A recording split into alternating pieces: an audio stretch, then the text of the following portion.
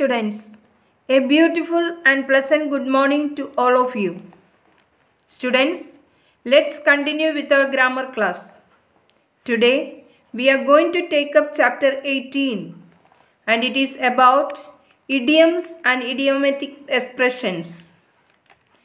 We know what idioms are.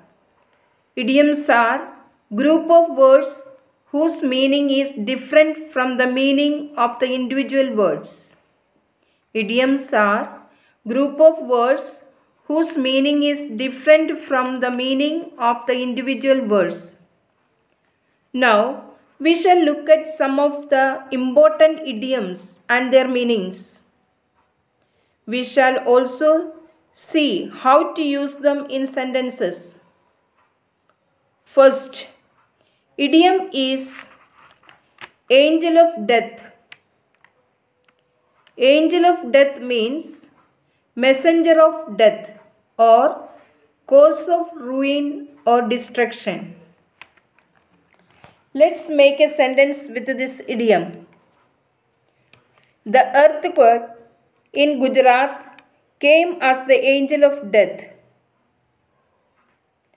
Next idiom is from hand to mouth. From hand to mouth means in want and scarcity. One sentence could be Most of the people in India are living from hand to mouth. Our third idiom is bird's eye view. It means a general survey of a topic. A sentence could be In the class, the teacher gave only a bird's eye view of the topic. Next idiom is blank check. Blank check means complete permission. Let's use this in a sentence.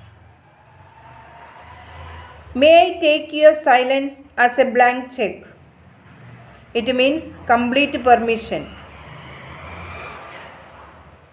Moving further, there is another idiom that is bread and butter.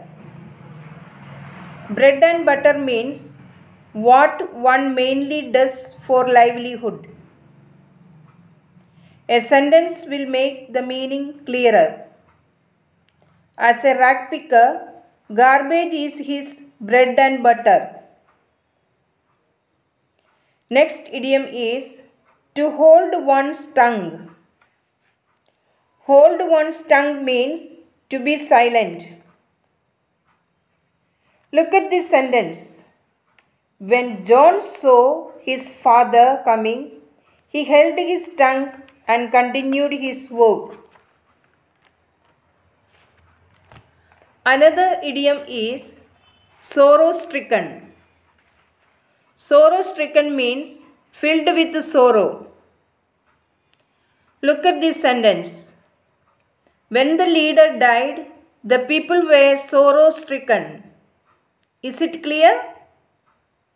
It means the people were sad. Our next idiom is far and wide. Far and wide means everywhere. Here is a sentence. People had come from far and wide to listen to the Prime Minister.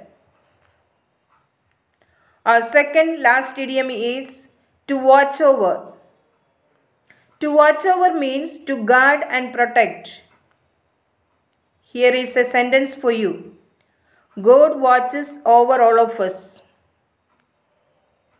Last idiom is at the expense of. At the expense of means at the cost of. One sentence for you. The rich become richer at the expense of the poor. So, students, these are some of the important idioms you have to learn. I am sure you will enjoy these idioms by using them in writing and speaking. Is it okay? All right. As for your homework, you will solve the worksheet exercises and send them to me by 9 pm today. All the best. Take care. God bless.